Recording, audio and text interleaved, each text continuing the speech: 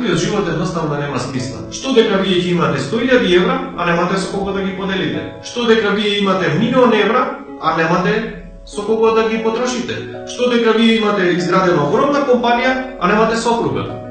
Не сте ги погледнале децата? Децата пораснале, а вие сте се фокусирале половина живот на бизнисот. Па за кого се тие пари? За кого е таа кариера? За кого е тој? За кого е тоа семејство? Прочем, како може да управувате со луѓе, како може да управувате со продажни тимови, како може да управувате со било кој еден тим, а не можете да управувате со собственото семејство?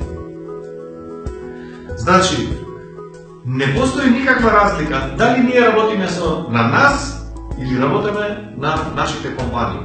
Само личности што се квалитетно изградени од внатре може да рефлектираат и да постигнуваат резултати од надвор. Немој да ги тражите резултатите надвор од вас. Единствената промена доаѓа во животот кога ќе бидете свесни дека 100% сте одговорни и 100% доаѓа од вас. Дека вие сте одговорни. Често пати клиентите кои со кои соработувам ми кажуваат па работниците не се не ме слушаат, сто пати им објаснив, ама «Па, ете тие не сваќаат, си дараат под свое, денеска нема квалитетни работници, е, порано имаше вакви, имаше такви, во наше време ја кога работав се слушав, се работав, што ќе ми кажеше шефот, денеска такви, такви работници нема. Нормално дека нема доколку вие не го водите вашиот ген. Не можете да го прогласите вашето дете за глупо, ако добие кет по математика, а вие цела година не сте седнале да повежбате со него.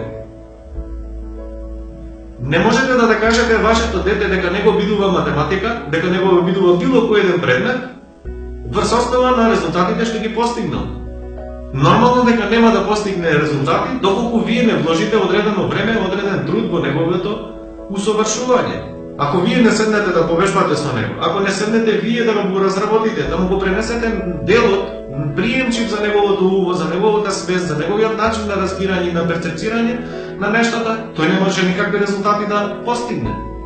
Истото и со нашите вработени. Доколку вие не им го објасните процесот, доколку вие не им ги објасните задачите со кои они треба да се износат, они не можат никогаш да постигнат резултат.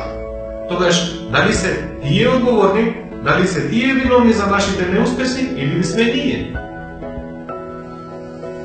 Се што треба да направиме е да работаме на себе. Колку ние вредиме како личност, колку ние сме се издигнале како личност, колку нашата свест е на повисоко ниво, односно колку повеќе работиме на себе, толку побарго и полесно ќе ги остваруваме нашите задачи. Како вела, патот до успехот е среќа, а не е самиот успех. Ако ние, остварувајќи ги компаниските цели или животните цели, нели, Доколку ние не уживаме во патот, значи едноставно сме ги изгрешиле целите.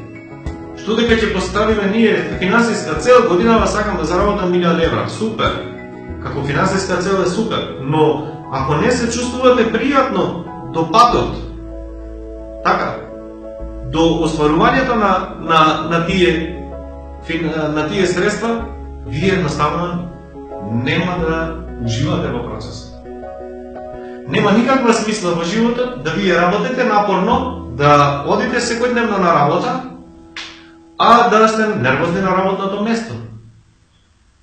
Колку луѓе работаат по цел ден напорно, честно, посветени се на работата, а им изостануваат резултатите.